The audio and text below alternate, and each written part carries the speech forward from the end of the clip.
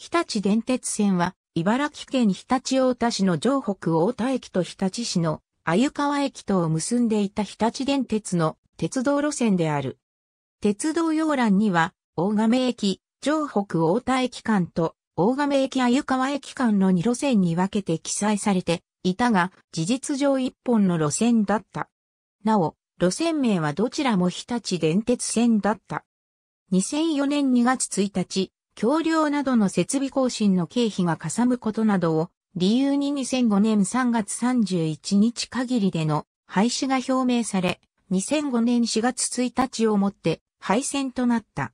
最終運転日は前日の3月31日。廃線後は日立電鉄参加の日立電鉄交通サービスによりバスによる代替路線の新設、既存路線の増発が行われている。営業終了時に、車体前方に貼られた、ファイナル欄の看板日立大田市と日立市との都市間輸送を担っていた。全日制の高等学校が、日立大田市内に3校、日立市内に8校あり、県立高校の学区も同じ学区同士だった両市間での通学需要が大きかった。途中駅のほとんどは周辺が農地で人家が少なく、城北大田駅と大亀駅の両駅の利用が目立っていた。日立港の最寄りで、駅周辺が密集した市街地である久慈浜駅大亀駅間の一駅間だけの利用も多かった。路線の廃止が発表された際には、地元高校生らが路線存続を訴え、ニュースなどで話題となった。常磐線と太平洋に挟まれる形で走行し、常磐線とは200の800メートルほどの距離を置きながら並走していた。沿線は日立市の密集した市街地で日立製作所及びその関連企業の工場が多く点在しており、太平洋に資金であることから海水浴場も多い。沿線人口は多いものの、終点の鮎川駅は日立駅の 3km 手前にあり、商業施設が集積する日立駅周辺へのアクセス利用には向いていなかった。その利便性の低さが、日立電鉄線の利用者が伸びない一因でもあった。日中は1時間に2本ほどの本数。大亀駅で常磐線に接続するダイヤのため、20から40分の不定な間隔だった。そのため駅によっては、1時間に1本という時間帯があった。朝ラッシュ時は、おおむね15分間隔で、1時間に4本ほど、運行されていた。城北大田駅鮎川駅間の全区間を走行する列車を基本とし、早朝、深夜を中心に区間列車が設定されていた。以下のデータは2001年6月のものであり、2004年3月12日まではダイヤ改正のたびに列車本数が若干増減している。大亀駅、城北大田駅間の終電は22時半。大亀発鮎川行きが22時20分過ぎで、折り返し40分過ぎ発が終電だった。土曜、休日は終電が早かった。日中の運転間隔を60分間隔とする大幅な減便が実施され、同時に日立電鉄線の廃止も発表された時期である。大亀発の終電は繰り上がり、両方向とも22時過ぎ、折り返し鮎川発20分過ぎが終電であった。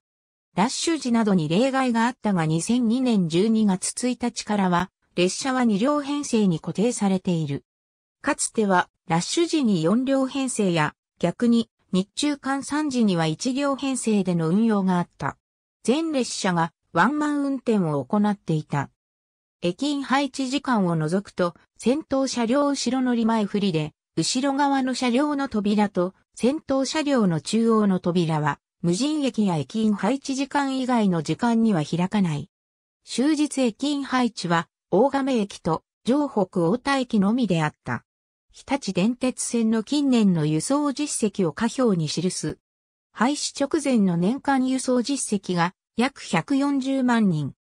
1キロあたりの1日の平均乗車人員を表す輸送密度では最終年度の2004年度が1303人、日だった。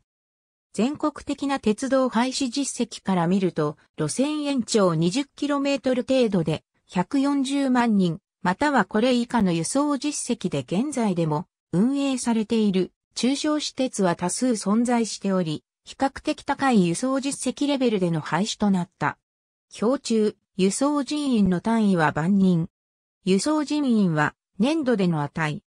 表中、最高値を赤色で、最高値を記録した年度以降の最低値を青色で、最高値を記録した年度以前の最低値を緑色で表記している。日立電鉄線は沿線に工場が多く立地していたことや、当時は日立市内の道路事情が悪かったため、ローカル私鉄にしては通勤定期の比率が高かった。バブル崩壊後に日立製作所やその関連会社が工場閉鎖など大掛かりな合理化を実施したため、モータリゼーションも加わって沿線人口や通勤利用者の著しい減少につながり、廃止の一因になった。夏季統計でも1995年以降の10年で半減以下に落ち込んだ利用者急減ぶりが読み取れる。日立電鉄線の近年の収入実績を下表に記す。旅客運賃収入は1993年以降減少した。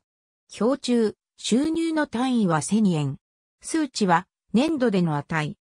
表中、最高値を赤色で、最高値を記録した年度以降の最低値を青色で、最高値を記録した年度以前の最低値を緑色で表記している。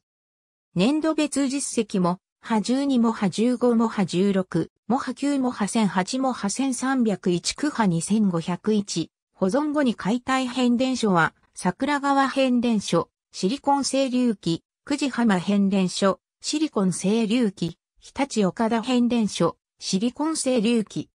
開業時は、久慈変電所のみ、回転変流機直流側の出力 150kW、常用1、予備1、製造所、三菱電機。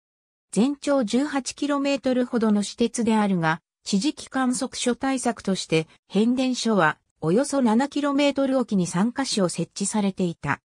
配線跡については道路に転用された区間もあれば、特に整備されず、空き地、または、あぜ道となっている区間もある。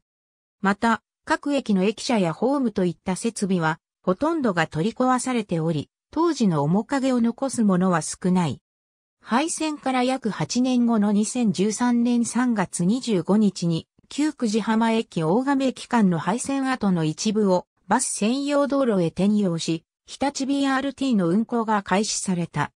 また、同年4月24日には、旧久慈浜駅に日立市立南部図書館が建設された。2018年3月26日には、旧大沼駅旧河原の湖駅間付近の廃線跡が日立 BRT の専用道路となったため、大亀駅東口日立田賀駅間でも日立 BRT の運行が開始された。翌2019年3月16日には、旧大亀駅旧大沼駅間付近の廃線跡も、日立 BRT の専用道路となったため、専用道区間は、日立市立南部図書館から旧河原の湖駅付近までの約 6.1km となり、大亀駅西口への乗り入れも開始された。運輸省鉄道局監修、鉄道要覧平成9年度版、電気車研究会、鉄道図書館公開、P82、鉄道免許状下府、官報1922年11月18日、鉄道企業目論見変更、官報1927年5月4日、地方鉄道運輸開始、官報1929年7月8日、鉄道免許状下府、官報1942年5月30日、公有車、鉄道ファン。1997年8月号通関436号。P128 寺田雄一。日本のローカル私鉄。2000 2000年。猫パブリッシング。55ページ。白土貞夫。日立電鉄の75年。2004年。猫パブリッシング10ページ上北電気鉄道電気事業要欄第21回昭和5年3月日立市日立 BRT が日立多賀駅まで運行を開始します日立市日立 BRT が本格運行を開始。ありがとうございます。